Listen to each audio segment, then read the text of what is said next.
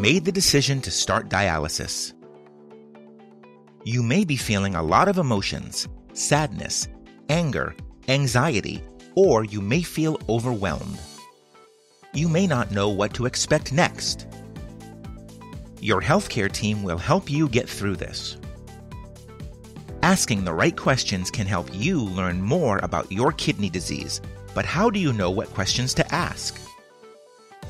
Here is what some people on dialysis want to share with you. Learn what each person on your healthcare team does. Ask your team how you can be active in your care. Ask your healthcare team for tips to fit dialysis into your life. Ask your dietitian about the best foods to eat and how much fluid to drink. It's important to share how you feel with your care team. How are you sleeping? Are you eating? Do you feel tired often? Do foods taste odd? Kidney disease and its treatment can be overwhelming. There can be a lot of new information to grasp. Don't let that stop you. By asking questions and learning one bit at a time, you'll be able to do what's best for you.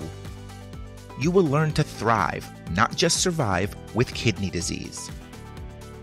Start now Take an active role in your health. Partner with your healthcare team to ask questions and share what is important to you. For more information on how you can become an active member of your healthcare team, visit the End Stage Renal Disease National Coordinating Center website and click on the Patient button for tools and resources.